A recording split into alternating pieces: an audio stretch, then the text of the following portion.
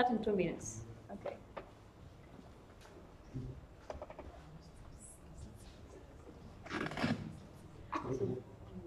What about questions? I mean, uh, if you prefer, you could ask. i- If I prefer if it's in the middle. in the middle, yeah. Yes. So Yes, because then it's more in- informing. Okay. because It's, it's better to, okay, so just say that, Yeah. but still, I mean, I will try put to it- be yeah. in time. Yeah, yeah, yeah. So because the next one will start at three twenty. Okay, okay. I'll, I'll do my best to complete.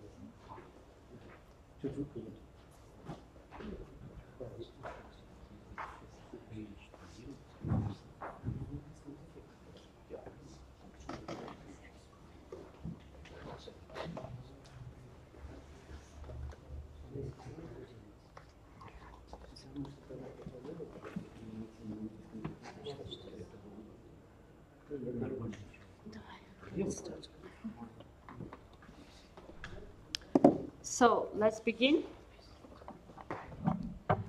Uh, it's a pleasure for me to introduce Emille Ishida. Uh, Emille is a researcher of uh, Physics Institute in Clermont-Ferrand. It's France. Yeah, Institute of Physics of Clermont-Ferrand. Yes, so in France. And uh, so I will let you introduce your lectures. Uh, and uh, sorry, uh, forgot to tell you that there will be two lectures. One today, the next one will be tomorrow, and the next one will not be in the conference room. It will be in the room number 48. А, Значит, э, две лекции. Первая часть сегодня, следующая часть завтра. Завтра не в конференц-зале, завтра лекция пройдет э, в 48-й аудитории. Все, значит, приступаем к докладу. So you're welcome. Thank you. Um, well, uh, first of all, thank you everyone for having me here. Thank you, Masha, for, for the invitation. Um, so I'm going to talk a little bit today or tomorrow about uh, machine learning and its applications to astronomy. Uh, so this, this set of lectures are divided in two parts. So today it's going to be a more introduc- introductory material. So if you are already uh, used to machine learning, you're probably going to revise things that you already know. And then tomorrow I will go through more uh, uh, state-of-the-art applications of deep learning and adaptive learning and the applications to astronomy. So I would just um, um, I would just want to let to ask you that if you have any questions, please stop me in the middle of the presentation. Okay, it's better that way because then we are we are sure that up to that point everything is clear to everybody, right? Um, so uh, uh, just so I before I start, uh, just so I can have an idea, how many of you use machine learning in your daily life, in your research? Okay. yeah. okay, good. Uh, okay, so uh, as I said, I will try to uh, keep this in time. And but if you have any questions at any point, just stop me, and then we, we continue on that way. Okay, it's supposed to be very uh, very informal, so uh, we can all understand each other. Um, so uh, before uh, I will I would like to introduce myself because it's the first time uh, that I'm in Russia actually. Um, I'm a researcher, as uh, Maria said, in the uh, Laboratoire de Physique de Clermont, but I'm originally Brazilian. Uh, I'm in France, but I'm originally Brazilian. Um, I work mainly on type 1a supernova, machine learning, and Bayesian statistics. And also, a large part of my work uh, is uh, developing different interdisciplinary science environments. So, I work uh, with, within the Cosmostatistics Initiative, thinking about how can we boost our uh, research results if we can better interact with people from different backgrounds that have different knowledge but can complement what we do. So if uh, any of you are ever uh, uh, want to uh, talk about it, I'm, I'm very happy to do it. Uh, and every time I go to a new place, uh, I think I also have to clarify where is Clermont-Ferrand. So this is the first thing you will learn today. Clermont-Ferrand is here. It's like three hours, 300 kilometers more or less south of Paris. Um, it is in the middle, uh, literally in the middle of France, right? So these green things around Clermont here is our chain of volcanoes. So the city is very known for people who like hiking and doing mountain stuff. There's a lot of volcanoes around. Uh, if you talk to people in the geological department, they will tell you that they are dormant, they are not extinct, but that's another story. Um, uh, the city is the birthplace of Blaise Pascal. Um, they are very, very proud of their cheese tradition, which I'm not French, so I cannot state to that, but they are. Um, and this is the Puy de Dôme, which is the most famous, famous volcano that we have around. Um, and also, but instead, uh, beyond all of those things, we also have in the Université Clermont-Auvergne a, a, very active group working on astronomy and specifically on Type 1a supernova in the LSST and Supernova Factory uh, and the ZTF. So uh, if you ever are any by any chance near this part of France, you're all welcome to stop by and say hello. So this is the summary for what I'm going to talk today. So first, we are going to introduce what exactly we mean when we talk about machine learning.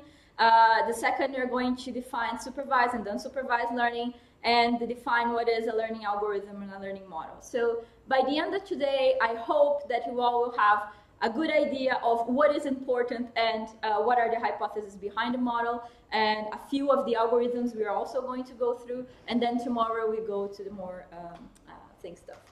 I tried in all of my slides to put uh, references in the bottom for whatever thing I got. But if I, if in any case I forgot, I have to say that I stole things here by a bunch of other people that uh, that have already produced materials in this. So just as the acknowledgement of everyone that I stole things. I have a couple of disclaimers to make before I start, so we can all start with the same level here. First, you should be very, very aware and suspicious of black boxes, okay? So we are going to, uh, sometimes during my presentation, I'm going to use a box as a description of what's happening, but that should not be black in any way. You should understand what is going on.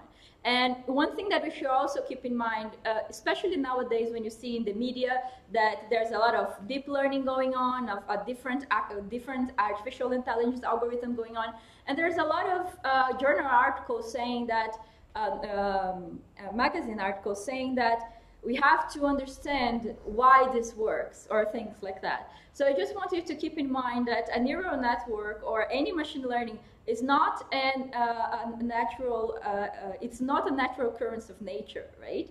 Uh, machine learning algorithm is an algorithm. Someone wrote that, and if someone wrote that, we can probably go inside and understand what's going on. So uh, all the questions of interpretability of machine learning becomes uh, a little less troubling, let's say, if, we, if we are very, very suspicious of all black boxes that we find.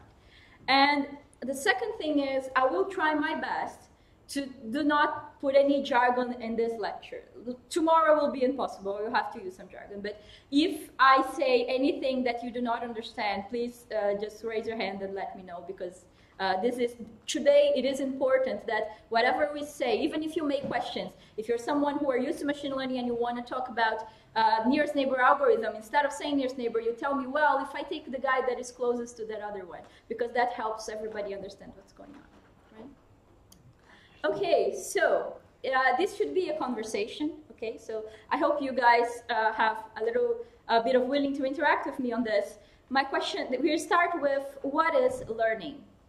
For people or living humans, living beings or whatever, uh, how you would describe what it is to learn? Do I have suggestions? Investigate something new. Huh? To investigate something new to investigate something new, to acquire knowledge, right? Um, anything else? Show some examples.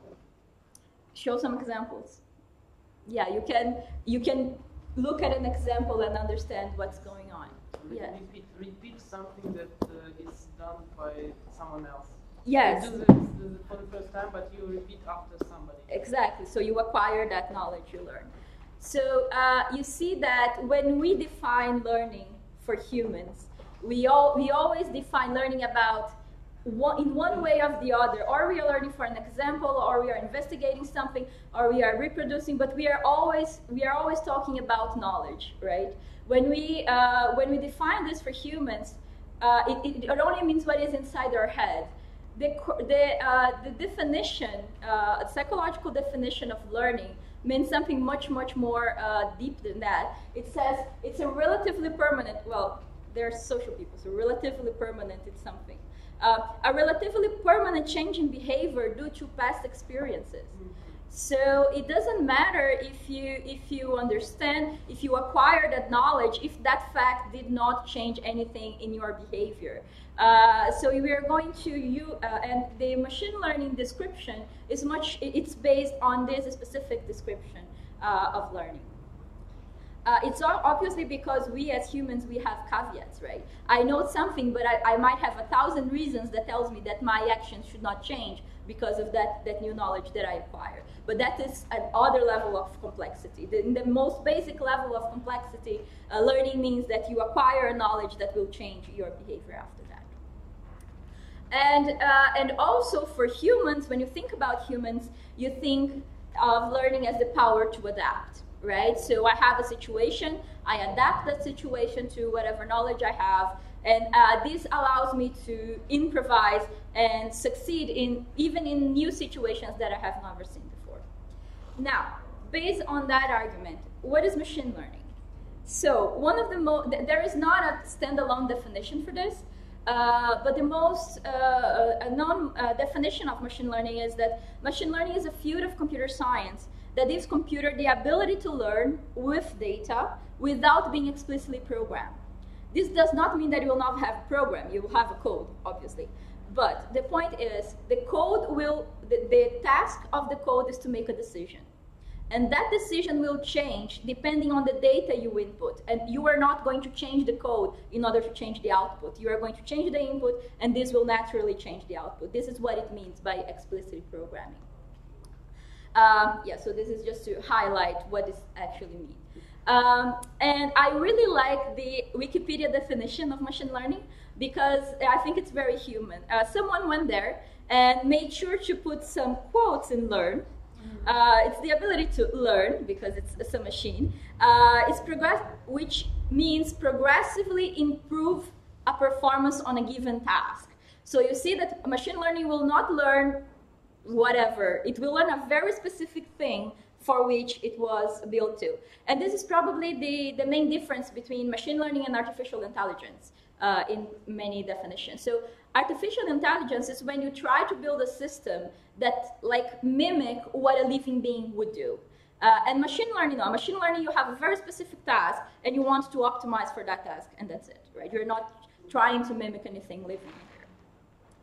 Uh, so just let's get a little bit more technical on this. A computer program L is said to learn from experience E with respect to some task and performance if its performance in the task as measured by P improves with experience. So what we have to understand here is I have elements of a machine learning model. I have experience, which would be my data. I have the task, which would be the classification, the regression, whatever thing I want to do and I have a performance measurement, something that tells me if that thing, if my model is good enough or not, right? So these are going to be the, the elements of my things. And then we can start talking about uh, different uh, categories of machine learning. Um, so in supervised learning, you can understand supervised learning as learning by example, right? So in supervised learning, I will always have a training set for which I have the features and the labels. So suppose that I suppose that you want to estimate, I don't know, the house prices in a given area, and you have a list of the size of the house and the price of that area. So you are going to learn whatever you can, and then you are going to apply that model in something where you only have the size of the house, for example, and then you want to estimate the price. Right? So uh, in supervised learning, you will always have a training set. You will always need a small sample or, or well, if it's big, it's better, but you always need a sample for which you have the observables that you have and the labels that you are trying to, to estimate. And your model will learn everything it has to learn from here, and then you can apply in another, in another set where you do not have labels. Is that clear? Yes? Um, so another way to look at this is that in supervised learning, what you're looking for is the boundary. So in a classification problem, for example, if I suppose that these two are two different, I don't know, maybe size and color uh, of, of these uh, uh, objects, if I if I if I have a training set, so I know that these guys are balls, and I know that, that that those guys are crosses. What I'm looking for in supervised learning is that boundary in such a way that if I come with a new point that will stay here, I can say, ah, okay, this guy is an X because I don't know what I, I don't know what it is, but once I put it in this plot, I will say, okay, if it fits here is an X, if it fits here is ball. Okay. Uh, and the other category of machine learning is unsupervised learning. In unsupervised learning, you have no labels. So there is no classes, let's say. What you are looking for in unsupervised learning is to look for structures in your data, right? So uh, if you have your, uh, your features here, what you are, you are saying is, okay, I do not know what, what each one of these guys are, but I know that these are similar to each other. And they are different from the other guys who are similar between the, themselves. So in supervised learning, what you are trying to do is to give some structure information and let the data itself uh, uh, tells you something about uh, the, the, underlying structure of the data. Okay.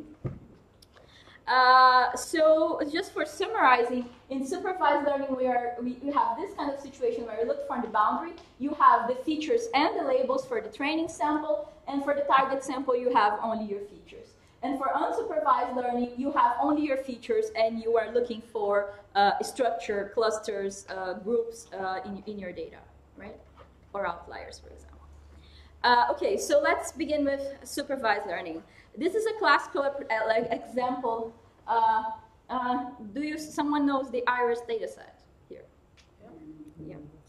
yeah. so the IRIS dataset is a very famous dataset and uh, uh, researching for this lecture, I, I, learned that it was actually uh, beginning to put together by Fisher, the guy from the Fisher matrix in 1936. I don't, I didn't know that.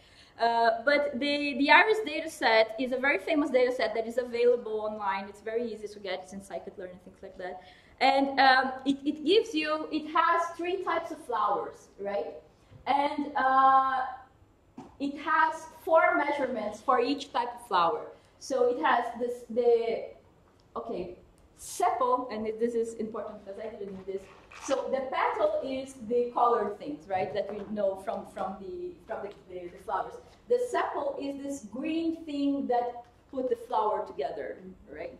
Uh, this is just to, a more definition. So uh, the, the data that you have in this data set is the sepal length, so it's this length, the sepal width, the, the width of this thing, and the petal length and the petal width. So you see you have three types of, uh, of classes of flowers in this data set, and you can plot uh, any, uh, any two by two uh, uh, features of this data set, and you will get something like this. You have 50 examples, 50 samples for each class in this data set. Uh, so in this, in this particular case, given the elements that we talked about, what we have, the experience will be the data, right? So it would be our, our, our, our data set. The task is the problem. In that case, it's a classification problem because the question that I can answer, that I can ask here is uh, which, which flower belong to each class. I may want to build a classifier from this. And um, the performance can be uh, a metric, something that tells me that uh, my model is correct or not.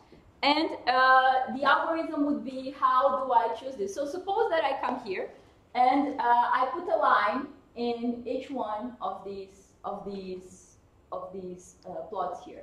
Um, so my question is, if I just put a line here and leave it like that, does this algorithm learn? given the definition we had before. If my, if my algorithm is only like this, I have this data and I draw lines and I say, okay, from here you are red, and if you are up there, you might be uh, uh, green or blue. Does, it's not, it's not wrong because you said it this time. Yes, exactly. It's not learning because it's a static decision, right? If I put more data in this in here, it will not learn. Now, if I have an algorithm that look at the data and draw boundaries based on the data, and these boundaries might change if I add new data, then this algorithm will be, will be learning, given the definition that we talked about before. Okay?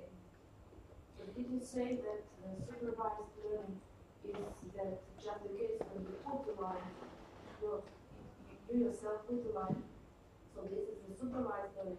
So this slide will be the supervised. This is supervised learning, yes. So this is the learning. This is uh, uh, so the fact that it, it is a supervised learning only because I have a training set. So here I have a data set for which I know the colors, and I will use the information to draw the line. It doesn't matter how I draw the line, this will be a supervised, supervised case. If I draw a line here and this line is static, doesn't change with whatever, this does not learn because if I put new data with colors, it will not update. But if I have an algorithm that tells me, okay, I come here and I use the colors to draw a boundary around each one of these classes, and if I put more data, uh, these boundaries will change, then the algorithm will be learning. Because I do not need to change the code, I just change the input data and the output will change. Okay? Good. Um, so the other, so this is a classification example. Um, uh, a regression example that you might have, this is another very famous as well, uh, available online everywhere, which is the house prices in the Boston area in very, uh, like 1978, so probably not, not representative. Um, but the point is, you have the average number of rooms per house and uh, the price of the house here. So when you look at that, what you think is, okay, this seems like a straight line right? So I can have um, my, in this case, my data would be my experience. My task would be a regression because my problem is a regression in this case. Um, the performance metric can be something very similar to when I do a linear regression, right? It can be something like that. Uh, and uh, and and the, the, the, the, program would be a linear relation. The, the, the algorithm can be, okay, let's let's draw, let's do the best linear regression we can within that data. Does this learn? It seems yes. Yes, why? Because in the result, the parameters of the line by which the, the data is dependent on the data. Exactly. If I put more data here, the values that I find for A and B, and as a consequence, the estimation that I have from my uh, from my line will change. So this method, although it's a very limited learning, right? Because it's it will only gonna learn uh, the, the, the, the, the linear regression, but it will learn. So all of these examples that we did, you see that we had the data, we had the training data because we had labels for this data, and we learned something from this set of data that we have. Training, in this case, the, the, the, the number of rooms uh, is the features, and the labels would be the house prices. And in this other case, uh, the, the features are these four, and uh, the, the labels are the classes uh, for, the, for, for the flowers. Um, so you see that what you are doing, you have a data set. Uh, and then you are saying, okay, I am able to make some kind of decision based on this data set. And I can use this decision in order to make a prediction for a new data set that it will arrive for which I do not have the label. Question, what allows you to extrapolate? Why it is a reasonable thing to think that you can do this extrapolation? Suggestions? What else can you do? Huh? What else can you do? What else can you do? Yeah, it's the best you can do, that's true. if you think that you have uh, appropriate model for this point. Exactly, exactly. So what you're saying is if I have an appropriate model for my points, then I can think of uh, I can think of this as, as a generalization for what is happening for the regions where I do not have points, right? Um, so now comes the hypothesis that we have to understand. So remember that we are remember that we're talking of supervised learning, right? So we have a training, which means that the ground truth exists. So I have some features in I don't know the left of the colors of the left of the sepals or the, the petals of the flowers and the, the class. Nature or God or whatever knows, right? The right answer exists because this is a supervised learning thing. When you do a data modeling, which is we are normally used to do in physics, uh, you, you get the points of your inclined plane and you put in the graph and you do the regression and things like that. What you're trying to do uh, is you're trying to describe what happens in the nature box right? Because when you when you do a physical modeling you're actually trying to understand the physics behind it. So you're actually trying to see okay what is the best that i can do? Even if you have only a statistical model even if you say okay uh, this measurement comes from is a random variable coming from uh, the normally distribution or something like that what you're trying to do is to uh, describe what happens in the nature box in some very broad and general way right so when I normally when I say this, statistics inclined people get very uh, uneasy because we are not trying to explain. But keep here with me. In the general case, what we are trying to do in a normal physical modeling is trying to understand what happens in the nature box. When I have an algorithmic, algorithmic model, which means a machine learning based model, I do not care what happens in the nature box right? I do not care. So in this case, if we are in this case, it is easy to understand why I can extrapolate, right? Because I'm trying to model what happens in the nature box. If I know what happens in the nature box, then okay, I can put other things inside and I will, I will understand. When I'm trying to do algorithmic modeling, I do not care what happens in the nature box. The only thing that I'm trying to, that I'm saying is I have these uh, features here, and the other side I have some labels, and I have some relation that I can make between them. So when I do a nearest neighbor a decision tree, any kind of machine learning, it's not trying to do, a, uh, it's not trying to understand the physical modeling behind that. They're just trying to describe relationship between input and output data, right? And uh, and then how do we phrase in this? In, how do we phrase this in, in a more mathematical way?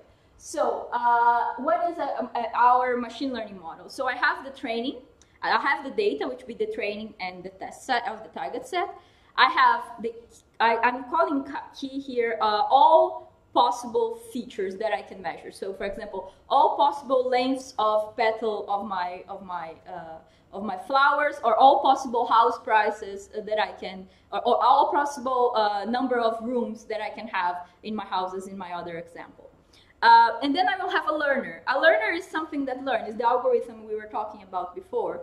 Uh, and a loss function. A loss function is something that tells me if I'm wrong on, and how, how good I am and how bad I am on this. And then in this, in this, uh, in this uh, kind of setup, why should this work? What I'm telling you is that I have a loss function that tells me that this learning model gives me a prediction of each one of these Ys, of these labels. Uh, and these labels are reasonably good to estimate the classes for something that was not used in my training, right? Why should this work? Any suggestions? Why should I expect this thing to work? Is, huh? You shouldn't. Yeah, yeah, that's a very good answer. Uh, well, the point is that you have hypotheses behind this, right? Uh, so, what are the hypotheses that are never talked about that are behind this thing? The, the point is that we have a data generation model behind this. So I'm, I'm, I'm having the hypothesis that, that I have um, a probability distribution over all possible features that I have. So over all possible uh, number of rooms or all, all possible size of petals. Um, and uh, and the actual the actual things that I have in my data set I, I are only realizations of that uh, of that distribution. And I have a, a, true labeling function, which I don't know what it is, but as this is a supervised learning model, this this true labeling function exists, right? And then I have a loss function, which is basically uh, prob the probability that I will take one data from my from my uh, one data from one realization from this uh, probability distribution, such that my uh, learner will give me a wrong prediction, right? The main thing that we should learn here is that this hypothesis is absurdly data dependent, right? So what I'm telling you, you see that everything that I say here is based on the existence of this probability function, and this probability function is written over all possible samples. It doesn't matter if it's from the training or the target. As a consequence, these things will only work if your training and your target sample comes from the same distribution. You should not expect any machine learning model to work if your training and your target set are completely different from each other. They should be, if they come from the same underlying distribution, you have some security that you say, okay, I train my model here, and even though this is different data set, I can expect it to work. Is that okay? Right. Uh, and obviously, there are complications. You will never know. Although we are based on P and this true labeling function, we will never know what these things are. So everything we can do is approximate. So uh, the loss function, it will not be the true loss function, but would be the good approximation that you can have, given that you will never have access to P or uh, the true labeling function, right? Um, and then another thing that it's very important to keep in mind is that all of this, all of these items forms a machine learning model, right? A machine learning algorithm, it's only the learner. And whatever you say, people talking about neural networks or deep learning or random forest or nearest neighbor or whatever, all of these different algorithms, they are only one one element of a machine learning model. And you have to make sure before you start any machine learning uh, analysis that uh, all of these things uh, uh, uh are satisfied, that your data satisfies this assumption before you start uh, trying different, different algorithms to see if they fit your data. Is that okay? So let's uh, let's go through a little a little uh, a few different uh, learning algorithms that we have here. Uh, so a K-nearest, a K-nearest neighbor algorithm uh, one of the most simple one. So I have uh, a training data here. I have a training data which is these yellow things and this uh, purple things, and I have a data set here that I want to know the label. So I, I will make a, a, circle around this and say, okay, which are the three nearest neighbors of these guys?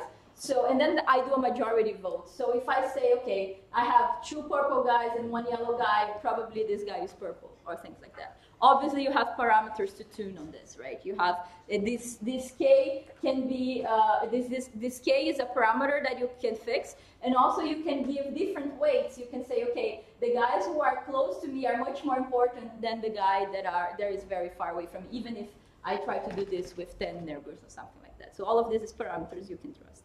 Uh, this can also be done in a regression example. So in a regression example, I have um, I have these points. The blue points uh, are uh, my data. And then if I want to estimate something in, in the middle of them, uh, you see that I can uh, take the two closest points and do a mean of them, and then I will have this as an estimation. If I take the three closest points, then I have this as an estimation and things like that. This is not very used, but it's still possible uh, to do in a regression exercise. Uh, support vector machines are, um, are, are, very similar to the very simple thing that I was talking about. You were trying to look for uh, uh, hyperplanes in your parameter space. So this is a, a two-dimensional example. So you are going to start uh, to look for uh, planes or lines in this case, which separates your training data the best right? So for and and this is going to be weighted by how far away they are from all of your data. So for example, uh, in this case, I would give preference for the A uh, instead of the B because the B gets very close to the uh, to, to the actual data points itself. And uh, if you can, this can also be done in higher dimensions. So you see, we have a, we have a kernel trick that allows you, for example, if you have this data, so inside is blue, outside is red, and uh, it's not linearly separate in this dimension. But if I have a, a third dimension here, which is, for example, the distance between the center to the center of the circle, you see that now in this third dimension, I can actually find a hyperplane that actually separates my data very well. Uh, and there's a, some, uh, the kernel trick is some mathematical uh, uh, magic that allows you to do this projection without actually knowing the mapping. So you can do uh, this kind of, of separation very easily and, very fast. But it's the same, uh, it's the same idea in, um, in, in higher dimensions. Um. The other, other possibility are decision trees. Uh, so decision trees are things, uh, decision trees, it's very sim. This is one one of the algorithms that work the best uh, because they are uh, they they come from. They, they try to mimic what happens in the human brain when you take a decision. So uh, in decision trees, what you do is this is an example for for classifying galaxies. So you have mag magnitudes here, and then you say, okay, I will take this feature, in this case, a magnitude of a galaxy, and then I will look at my training data because in the training data I know the labels. So I say, okay, it seems that in the G magnitude I have a cut in this case 1.35 or something like that. So you say, okay, if I, uh, this is probably colors, colors U plus I. Uh, so if you say, okay, and then you separate these guys, and then you have, okay, here I have things that are not merging, and then here I, I get uh, a group that is still uh, that is still uh, contains a lot of things, and then I have different different features that I go making these decisions one by one. This is a sequential. This is a sequential thing, but in the end, this is the one the simple algorithm that works the best, especially for uh, a high, uh, very complicated classification systems. And because this actually uh, this actually mimics what we think of when we when we try to do this kind of thing. And also, you, this can be as complicated as you want. So if you have a random forest, um, random forest uh, examples means that you have in each, uh, you have a lot of different uh, decision trees. You start in different, different uh, stages or you start with different features. So all that each tree will be different from each other. And in the end, you will have a, a majority voting class. In, in the end, here you will have one vote for the classification of each one of those trees. And this allows you to do one a majority vote, or you can also use these, these votes as a probability for the classification of each one of those classes. So, yeah? Is it, is it used to exclude the error out of the, uh, the assumption that the machine will Uh, I'm not sure. Uh, I'm not sure if this is used to exclude the error. Are you stating or are you making a question? No, I'm asking. Uh, right. right, right, right. Uh, I, I am not sure if this is used to, to exclude the error. I know that this, uh, so you can think that, okay, I think you can think that trying to dilute the error. Let's, yeah, yeah, let's put it like this, yes. Because if you have only one tree, the point is if you have only one tree, you'll be highly dependent on where you start or which feature you start uh, to begin with. If you have, if you begin with different different stages and different features and you come to the same conclusion, that's probably a more uh, robust result in that sense. So I would say that it dilutes the error for, through the, because you will also have sometimes a very low probability, which means at least one of these trees will give you an answer that's probably not the correct one. But as you have many of them, you can, you can weight that. Uh, and this is used for classification, but you can also use that for regression. Um, so this would be this. This is less obvious because in a regression exercise you have to beam, right? Because a regression means that your label is a, float, uh, a real number. Uh, so you have different trees, which gives you you are going to beam uh, in different stages of the tree, and these are going to give you different answers. And in the end, you can use the mean or the median as uh, uh, uh, to, to, classify, to characterize your, your result. This is also this is also a lot used in astronomy, especially in uh, photometric redshift estimation. So when you're doing photometric redshifts, uh, each one of your features will be your magnitudes in different bands, and then you can start doing this this tree binding uh, on your result and uh, average the classification. So unsupervised, so I, I gave you an up to here. Up to here, all of the elements that I gave you, we had a training sample, right? So we have a training for which we have the labels and then we will learn from these labels. Um, here I'm going to, to, to, to, be now on unsupervised learning. Uh, so unsupervised learning, just to remember, is when you do not have uh, when you not do not have any labels and you are looking for uh, structures in your data. Uh, and if I come to my definition of the machine learning model that I was talking before, uh, this is much more complicated because now there is no ground truth, right? This is a mathematical ill-posed problem by definition because in unsupervised learning there, are, there is There is not uh, what is a cluster or what is a group or what is a structure that you're looking for. Uh, it's not a, a, a, a well-defined subject. So if you if you go back to the elements of what we were talking before, um, you would have no labels because there are there is no ground truth. Uh, you have no loss function because you, you, you, you don't have anything to compare with.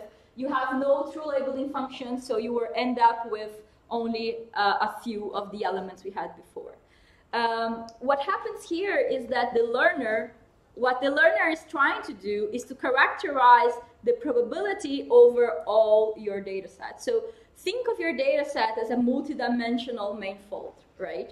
What unsupervised learning is trying to do is trying to identify hills, uh, tops, uh, hills and, and, uh, and deeps uh, in this manifold uh, of your data. And then how you define how deep you want uh, the to be or how high you want the top to be, it's, it's, it's up to, to, to your decision. what happens many times when you are doing unsupervised learning is that you, depending on how you define a cluster, depending on how you define a group, you will have a different answer, and that's completely okay within the within the uh, within the structure. You just have to understand of what exactly you're looking for. So, for example, suppose that I have this data, and I get, I have a feeling that I have groups in this data. Uh, but I don't know how, and I actually don't know. I, I don't know exactly which point belongs to which group. So k-means is a very, a very famous algorithm that uh, you have, the, the, for input for k-means, you have to tell how many groups you have, right? So this is an input for the algorithm. So if you say you have three, group, three groups, the algorithm works like this. First, you assign three random points in your parameter space. In this case, if you see there are three three points uh, lying here in the beginning of this um, of this uh, of this GIF, uh, yeah, yeah. So you have three points there that are uh, completely random. The second, the second step, you all you attribute each one of these data points to the nearest centroid, right? And then uh, once everyone has its own centroid, uh, you move the centroid to the center of the data points that belongs to it. This is what this this GIF is doing here. So you start uh, uh, you start with centroids uh, here. And then in the beginning, everybody's blue because this guy's closer to everyone.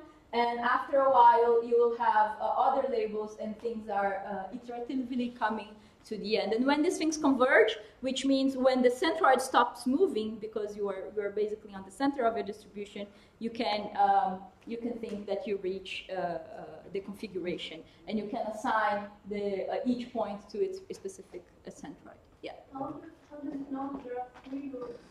Yeah, no, here it's in, he's, here it's input, you have to tell. Ah, okay. Yeah. Is it possible to, uh, that algorithm guesses how many groups are there? Yes, yeah, I'm going to talk about, uh, not in this algorithm, okay? This algorithm requires that you, that you put the number, but I, I'll give you a few examples where you don't need to, to, to, to put the numbers off. Um, the other thing that is very that has been used in astronomy a little bit more it's self-organizing maps. Uh, and here you don't need to you don't need to, to, to, to input the number of groups that you have. Uh, so self-organizing self-organizing maps um, it's something like this. What the, the uh, what the algorithm does is it projects your data. It doesn't matter the dimensionality of your data. It's going to project your data into a two-dimensional uh, two-dimensional grid in such a way that things that are closer together are going to be similar to each other, and things that are uh, far away from each other will be different uh, from each other. Okay, so uh, bear with me a little bit. So I have my initial grid. You have to decide this this uh, this the, the, size of your grid. So here I have a 16 uh, 4 by 4 grid, and I populate each one of these cells with a random vector by the size of my data. So if I'm using galaxies, for example, and I have four different uh, four different magnitudes for my for my galaxies, each one of these random vectors will be a random vector uh, with four elements, four random numbers. Is that okay? Right? Okay. Okay. So uh, I have one random vector in each one of the cells, and then I choose one of my data points, right? In any one of my data points. And then I will find, uh, obviously all of these are random, but by chance you will have one of these random vectors that are more similar to your actual, actual data set. It doesn't mean anything. It just means that numerically it's closer to your data than all of the other, uh, all the other random vectors.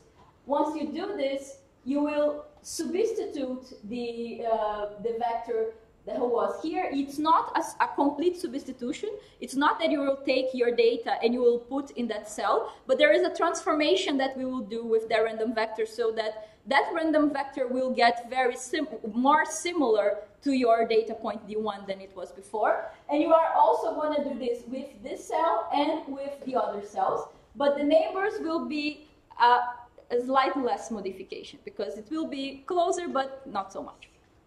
Uh, and then you do this, uh, you slightly modify the, the vector of the neighbors to resemble, and you do this one by one with each one of the, of the vectors in your data set. So is it, is, is, it, is it clear why, in the end, these will cluster together things that are similar to each other? If I have a data, and then in the end, you store the assigned locations. So I will not I will not uh, care about the random vectors, but I will assign different, or I will keep record of, okay, this the data number 25 was in this cell and data number one was in this cell. In the end, if you check each one of these data points, you will see that things that are the same cell are very close to each other and say things that are in, like this guy are very different from that guy and very different from that guy. Is it obvious why this converges? Yes. okay. At each point, I am at each point I am bringing closer. I, I, am bringing one data point and making one cell closer to this data. When I come to the second point, the, I will choose the data which the, the, random the cell which contains the vector which is close to this random data to the second data. If the second data is very close to the first one, it will fall in the same cell. Is that okay? Okay. Um, so this is an example. Uh, we did this uh, with uh, spectra of type 1a supernovae because we were trying to identify if we can uh, only data-driven find subtypes of type 1a supernovae. So you took a lot of type 1a supernova spectra and I, we played this game that I talked to you about. I don't think you can see, but in the end, you have one, two, three, I know, a very big grid. Uh, but in the end, uh, you have all of these guys like here are 91BG-like guys. You have a peculiar supernova uh, here. Uh, you have 91T guys uh, up here, and all of the guys in the middle are normal. Uh, these are, are normal, and these are all high velocity feature objects. So you see that we know this in retrospect, because obviously we are used to, we can look at this data and identify this, but if you have a high, uh, a very high dimensional data set, you can use that uh, to do a similar game. And this has been used also for galaxy classification, for example, morphological classification of galaxies and things like that. Um, the question you can ask is, are these really unsupervised methods? Because, uh, okay, I learned something, right? I uh, I shift my data and I uh, organize my data in such a way that uh, that um, uh, similar things are clustered together and different things are farther apart, but I'm not giving any number of clusters of any number of groups in here. So this is, you can think of this, of we can think of this as a pre, a pre-step of the actually definition of groups. And then, as I said before, how you define your groups, it, it, uh, it, depends on how you define your distances or what science you are interested in, uh, in doing. Um, and this is where it's very important to understand that uh, even if you do a very complicated machine learning model, in the end, domain knowledge is absurdly important in order to make the decisions uh, that you have to make in order to get the most that you can get out of your machine learning algorithm. Is that fine? Um, so, uh, I have uh, just a summary of what I talked here before. Uh, so what, what I want you to remember from this, if you have to remember only uh, a few things. Uh, remember that the definition is, of learning is different from what we what we know or what we expect for definition of learning for humans. Um, supervised machine learning models means that you have a loss function that you have to minimize. There is no magic. The machine learning model will not find some absurdly interesting idea that you haven't thought about before, right? Uh, all that it's doing is minimizing the loss function. And if you, even if you have a very complicated code, you can go inside there and you will find uh, a loss function that it needs to minimize. Unsupervised learning is trying to characterize the distribution of your data. Uh, so it's trying to, to, to, find the structure uh, of your data, but there is no ground truth in this sense. And the most important, the machine learning algorithm or the learner is only one element in a large machine learning model. Uh, and you should pay attention to, other, to the other elements uh, of, your, of your learning model as well. Uh, and then just to give you an idea of what I'm going to talk about tomorrow. So here today, there are what we call generations of machine learning algorithms, right? So uh, the first the first generation was the first one that I talked before, a rule. I put a line here and that's it, right? This is the first generation. If I have a machine that finds that line, I would say, uh, uh, in the beginning, you would say this is the, the first generation of very, very simple code. The second generation was uh, the simple machine learning algorithms that I talked to you about today. Uh, uh, nearest neighbors, random forest, things that uh, rearrange the decisions a little bit, but it's still very, uh, there's not very much complexity on it. The third generation of uh, machine learning models is, is, when you start to boost the complexity of those things. So then you start with, uh, uh, with deep learning and, um, and higher convolutional neural networks and things like that. And the fourth generation is adaptive learning. Uh, and adaptive learning is when the algorithm is not passive to your data, uh, which means that the algorithm itself tells you this is a good data, this is a bad data, this is a data that I need a label, this is a data that I do not need a label. And so we are going to talk about uh, all those things tomorrow. I hope you, you stop by. Thank you very much.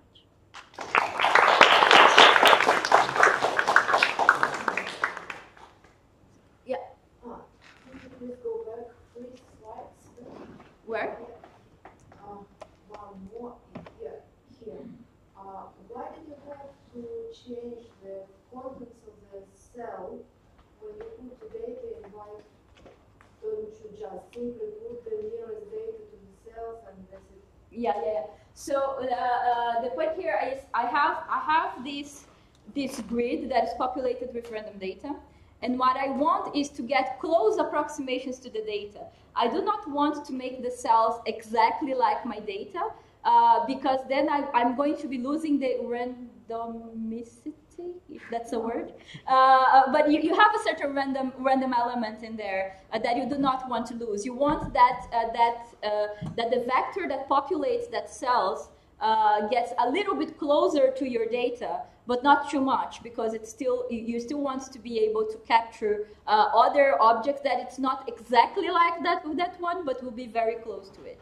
Uh, and just a, one clarification: when I talk about this, um, the I, store the the information of which data set, uh, which data vector I uh, I assign to its cell, but the data vector itself is not is not stored here, right? The data vector is only used to calculate this transformation in the vector that populates that cells and the, the neighbors that it has around. Right? Yeah. Oh, to make more clear about this particular example, suppose you have um, Poissonian process, for instance, uh, the rain drops, mm -hmm. right? And you have uh, some area, right? Mm-hmm. And you start learning which kind of drops is close to each other, etc., mm-hmm. etc. So, as far as I understand, in the result, you must obtain even distribution of drops in each of your cells, right? Uh, yeah, you will have.